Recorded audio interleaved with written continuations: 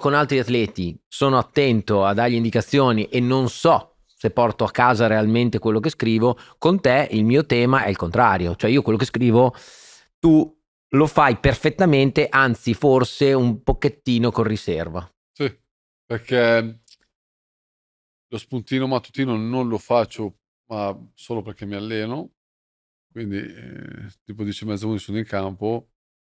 E ovviamente c'è un nutrizionista dell'Inter che ti dà la, la bibita. Il tuo prodotto il specifico? Prodotto, sì, che però io uso gli aminoacidi prima degli allenamenti, quello che mi, che mi dai te, e poi ogni tanto sul sito bevo anche quello, che se ne frega, più o meno. E lì magari non, sicuramente non ci sono dentro gli aminoacidi, sono sicuro, perché è un altro metodo di lavoro.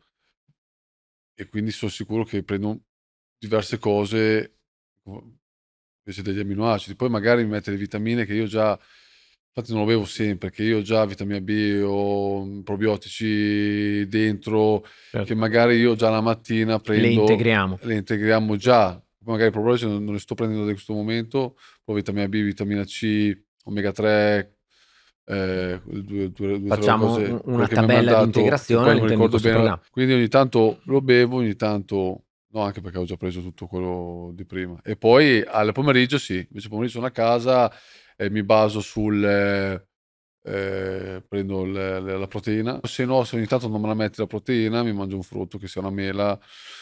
Ehm, sì, più un frutto. Se, ho fa- se non ho fame, tiro.